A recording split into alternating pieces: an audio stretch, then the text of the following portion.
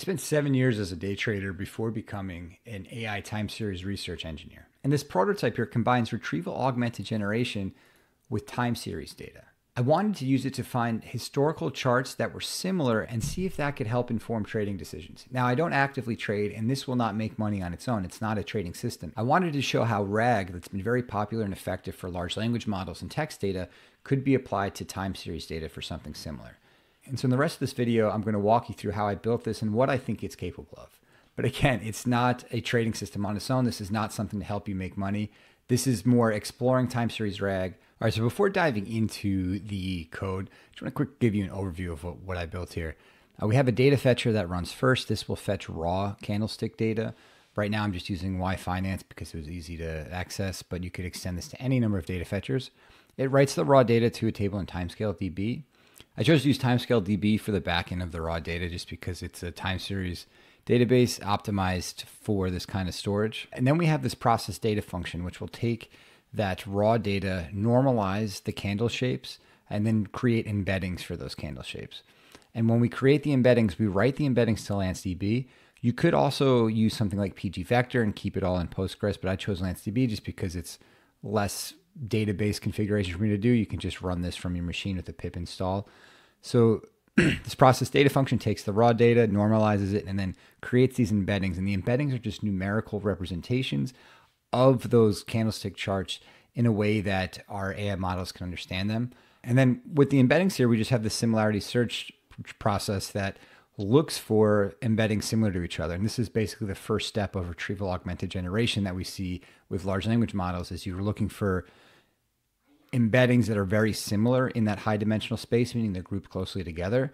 And that's what we wanted to do here. And that's what this Streamlit app front end calls is just finding, hey, given this chart, what are charts that look like this? And so diving into the project, the first thing you have to do is spin up this Docker Compose file here, which has Timescale DB installed. Before you do that, make sure Docker desktop is running, or at least your Docker daemon is running. Mine's already running. You can see there's already some data in there, but let's pull some more. All right, so let's just run this and get some more data. All right, there we go. So that was step one here, this data fetcher. We now have data in Timescale DB, so now we need to process the data. All right, so this process and store job takes all the raw data from our Timescale DB and then normalizes it using min-max scaling on the open, high, low, close values. And that is what we just use as the embeddings. Like what we could do eventually is train our own autoencoder or use some time series foundation model to create the embeddings that we actually store. Um, but right now we just look at a slice of 10 to 20 bars and then normalize that range. And that slice is what turns into an embedding. And so here we're going to run the embedding a step where we process and store the data in LanceDB, and we're using that window size of five bars. So that means we have five days worth of data, and then it's a two-day strides, which means we're only moving that five-day window forward two days at a time. So there will be some overlap, and I chose this kind of small window because I wanted this. To, I wanted to see some similar examples in this tiny data set. In practice, you can tailor this to what your use case is, and that's done. So now we can launch our Streamlit app and view this. All right, and so I initially created two modes, but really I think the most interesting one for traders is this find window similar to recent data. So if this is the most recent five bars for Apple, now we should see five bars that somewhat represent the same pattern. Um, it's, a it's a little hard to see here. And ignore the similarity score. There's a bit of a bug going on right now.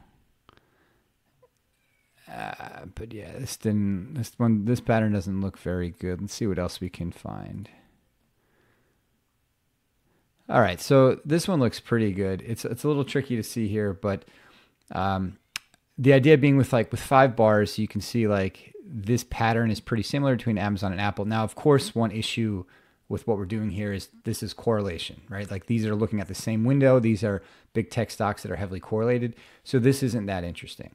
But now imagine if you extend this out and you had a repository of all historical charts ever, you know, for as far back history could go, for as many symbols as you could go, and then you refine this similarity score such that you're looking for things that look very, very close to this pattern. And now maybe it's not a five day slice, it's a 10, 20, 100 day slice, and you're comparing that on multiple levels.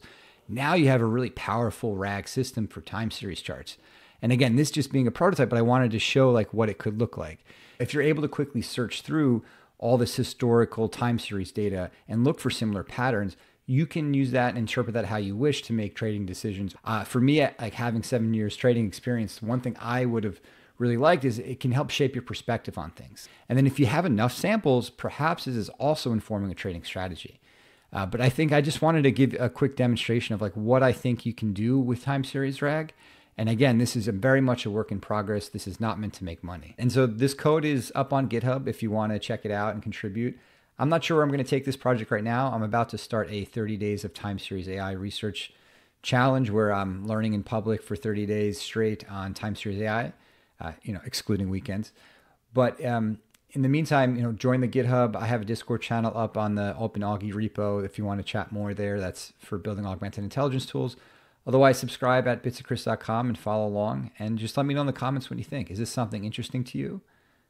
Do you do time series rag? How would you apply this if you were trading with this information? I appreciate it, and I'll see you in the next one.